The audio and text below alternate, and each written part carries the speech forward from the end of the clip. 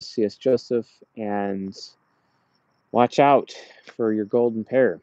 Uh, I immediately had to go live after reading James Lee's uh, comment that he posted on the uh, Facebook group just now, and I found it very fascinating. A lot of people think, you know, golden pairs are like the best, highest compatible relationships, and yeah, they are. They have the highest highs and lowest lows, and he was commenting about how someone was basically glorifying the golden pair relationship as the absolute best uh, relationship for somebody, which, in my opinion, kind of feeds into the whole soulmate myth type of a thing, and it's kind of interesting how that works. Uh, so uh,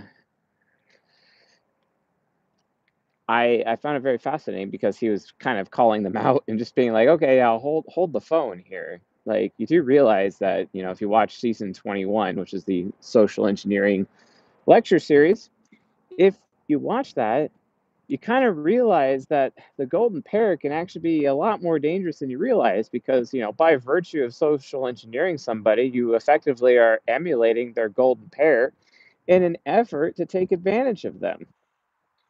So I'm like, uh, yeah, that's a very good way of putting it.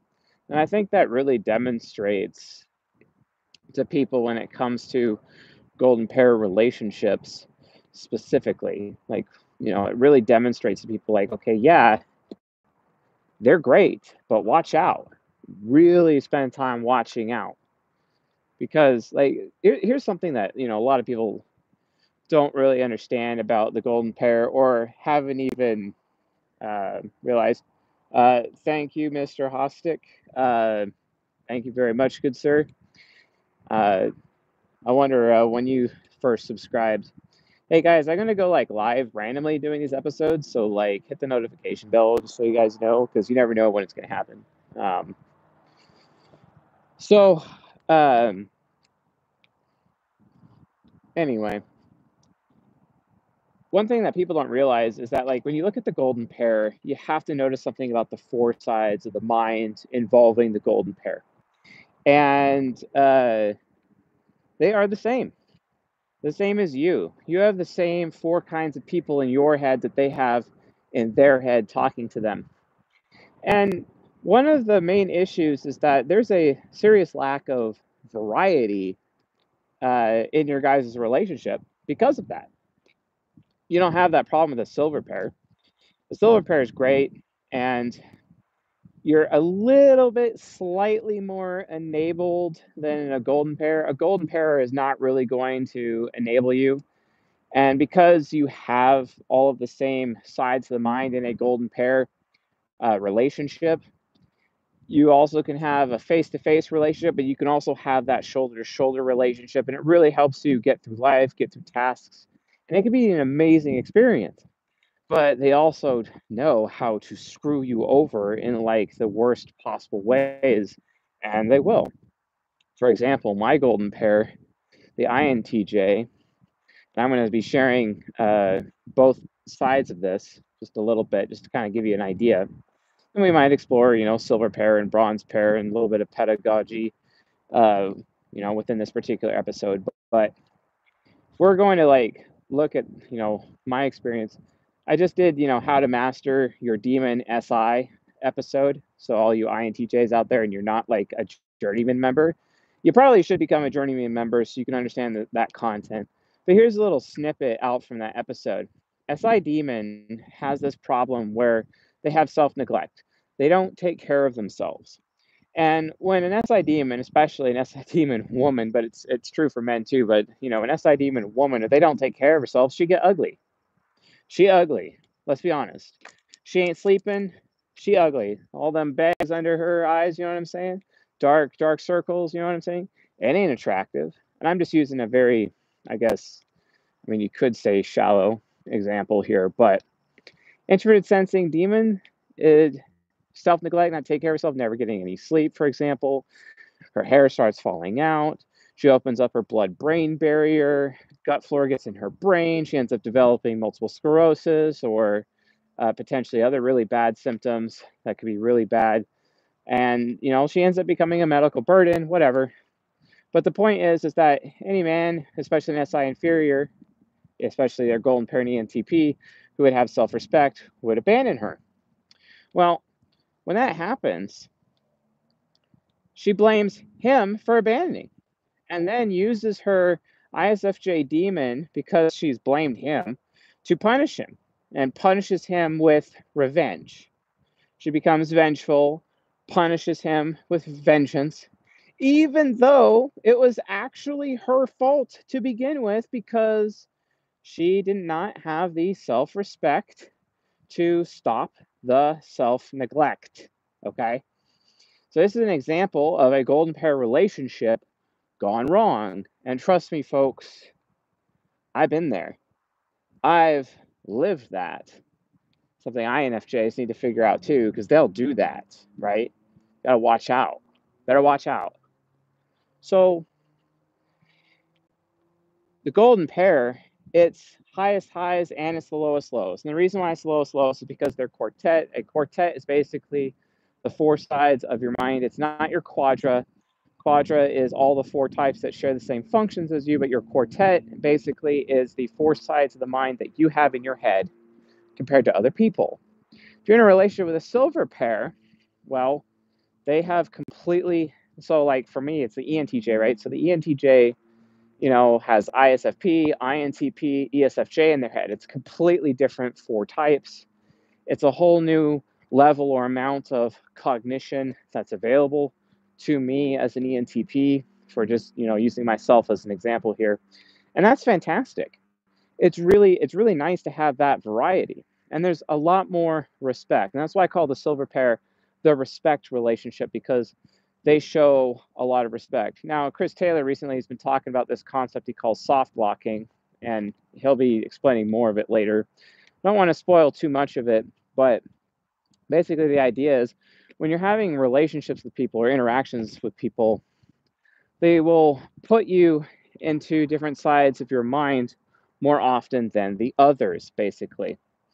And, you know, when, and, you know, according to him, like silver pairs will put you more into your subconscious. So a silver pair can like have like this very high euphoric happiness driven approach and then as a result and i and i hope i'm explaining this correctly um, but um, you know, and that's great, but it, and it still has a lot of respect, but it carries a little risk of enabling, and there can be a little bit of enabling, but not much. The golden pair is not going to enable you. The golden pair understands all of your tricks. And because due to that lack of enablement, you're effectively being exposed consistently. And that's really necessary for growth. Again, highest highs, lowest lows. And again, as James Lee pointed out, the fact that you have to emulate someone's golden pair in order to social engineer or to effectively ego hack them, basically, in order to do that, to manipulate them to get something that you want or get something that they want but don't even know they want it, etc. You know, like convincing an ISTP to go to the hospital for once when they need to. That would be an example. But either way, either way, uh, you still have to emulate the golden pair for that reason. It's just it just completely unlocks their soul. But silver pair is not a complete total unlock. So everyone's able to be like a master of their castle, etc. No one's gonna be challenging them for the throne, you know. Like for example, if I was at the INTJ, I may fancy myself a really good cook, but they may just randomly decide to cook themselves because they don't like what I'm cooking. Whereas in a silver pair, they're going to show a little bit more respect and maybe kind of do a workaround approach. Bronze pair, however, gosh, it's so enabling. It's completely enabling of people. And it's it's it actually has it carries a much larger risk of becoming an unhealthy relationship because of the enabling, right? And that can also be an issue. But yeah, I mean, guys, this is just, you know, another example why, you know, going back to the SI demon, you know, example, I, I, I did the How to Master Your Demon series, and the final episode of that season is coming out this month. So you guys want to get on that, go to csjoseph.life forward slash members, become a paid member. And pretty soon I'm gonna be doing a bunch of live streams with guests where paid members can join me on any live stream that they want to discuss whatever topic it is that I'm going to be live streaming from. That's gonna be pretty cool. So I also got episode seven of season 31 coming out this week, which is gonna be crazy. I just finished writing the outline for it. It'll probably be the most controversial episode I ever do in the history of uh, the channel. And yeah, it may cause a lot of people to leave, but good riddance because, you know, I don't want fair weathered subscribers. I want real people who are really willing to stick around and hear the truth and do the work so we can make the world a better place and solve this problem of fatherlessness. Bring back the mature masculine so that can actually have our lives and our happiness back. Instead of you know finding ourselves crawling on the floor picking up dollar bills off the ground after you know stripping all evening for example. So yeah it's probably uh, a much better way to live life not doing that let's be straight. So but you know because fathers keep men out of jail and uh, women off of stripper poles and that's what they're for, after all. So yeah, guys, like just understand, like you know, the the golden pair is not a, a gravy train. If you want a gravy train relationship, go for the bronze pair. But the enablement can actually lead to some huge problems between the two types, and you just want to watch out for that. It's like having a an echo chamber of life, basically, not as much challenge. If you want to make the friction worth it, get a silver pair get a pedagogue. I, I this is why I, I say pedagogue is probably the best kind of relationship. And if you think about it a lot of places on the mbti blogosphere on the internet would actually claim that the true golden pair is basically the pedagogue relationship which it's not but i could see where they're coming from.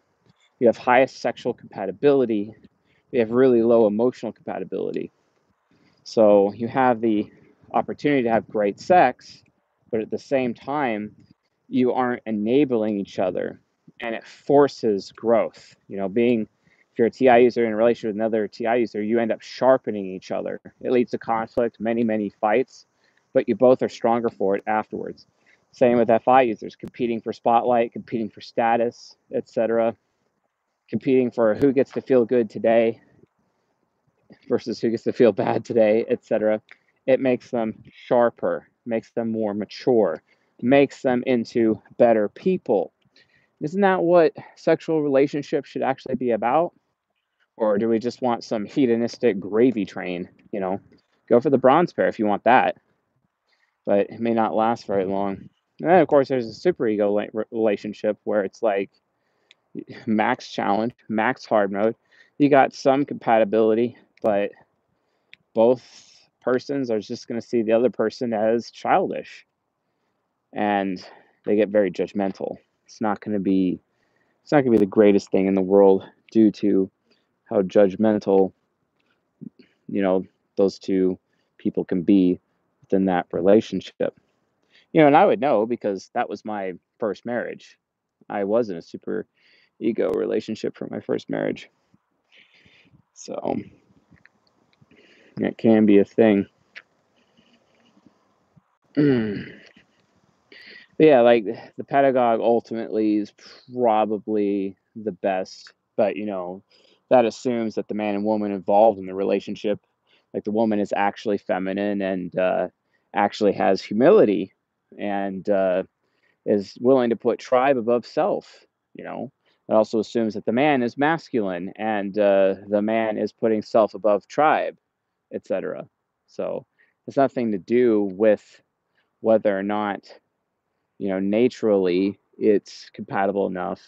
But let's be straight, you know, you got to have your nurture pieces in there too in order to make a relationship uh, work out pretty well. And if you're not willing to do that, well, that's on you. I mean, if you're not willing to submit to the mature feminine, well, that's on you. Not willing to submit to the mature masculine, well, that's on you. It's kind of a problem. So don't forget, guys, as often as these pairings are for sexual relationships, they're pretty good for nature, but you also got to make sure you keep a track of nurture. Here's another issue with nurture. One final point. You know, in a relationship, you need someone who's shadow focused to be with someone who's subconscious focused. So the shadow focused person can basically become a little happier uh, with the subconscious focused person around. And the subconscious focused person can become a little wiser with the shadow focused person around. Cognitive focus matters, folks. It really matters. That matters. Compatibility matters, you know, with the different pairings, etc. There's a lot of other pairings. You know, my pairing with Railgun, like, we have like super ego based sexual compatibility. Um, and then we have like zero emotional compatibility whatsoever. But it keeps us sharp, keeps us very sharp. And it's like I'm in a pedagogue relationship with her subconscious and vice versa. And we've been able to grow and become better people as a result. Like, for example, she gave birth. Most women who give who get pregnant and give birth, they don't lose their pregnancy weight. They keep it on them for another 20 years. For her, for example, you know, it's now five months after she's given birth. She, um, when I first met her, she was like 134 to 30 to 140 pounds in that range, basically, when I first met her. And then she was about 168, 170 ish at the time of giving birth to our son. And now she's 120 pounds and is smoking, right? Well, I mean, welcome to the miracles of breastfeeding. If you know how to count your calories properly and manage breastfeeding at the same time, a woman has full control over uh, her body and her aesthetic while breastfeeding. It's pretty dope. So, anyway, folks. So, yeah, just understand that, you know, the golden pair may not be all that it's cracked up to be. When we really say it's the highest highs and its lowest lows, it's true. And I want to thank James Lee. Shout out to James Lee for his little example that he had in the Facebook group. Uh, pretty dope and uh, definitely true. Just by virtue of emulating the golden pair in a social engineering or ego hacking situation, that alone is proof that you know the golden pair is highest highs and lowest lows and should not necessarily be put on a pedestal. So keep that in mind, folks. I get a lot of you are like super into trying to be with your golden pair, and that's fine. You know, go for it, go for what you want. But the reality of the situation is that may not actually be what you need. Right? If you're if you've been heavily abused in your life, maybe the gravy train of a bronze pair is everything you actually need. I want you folks to be open to considering what you might need and not necessarily what you want when it comes to relationship pairings. It's really, really important because otherwise you're going to find yourself ruining your life and ruining someone else's life at, at the same time within that process. So keep that in mind. Understand that there are risks and make sure you do your homework properly before choosing a mate. Or you could just, you know, do as I do and love them anyway. Because if I know the psychology well enough, I could potentially be in a relationship with any person, literally any person. And I could meet their needs, maybe meet their wants, do both. I could teach them how to do the same for myself, which, guess what? That's what I do in my marriage because it's given us a conduit with which we can communicate. And as a result, we are able to grow and become so much more than we ever have before. So, anyway, folks, thanks for watching. Hope you found this episode useful, helpful, educational, enlightening. Please subscribe to the channel if you haven't already. Leave a like, please. Notification bell, all those things that YouTubers usually say. Please do those things and support the channel. You really use the support nowadays. It's very, very important. So, anyway, folks, with that being said, I'll see you guys maybe tonight again. Who knows? But probably tomorrow. See you guys tomorrow. Cutting Edge uh, podcast episode tomorrow night from members. Check it out. Later.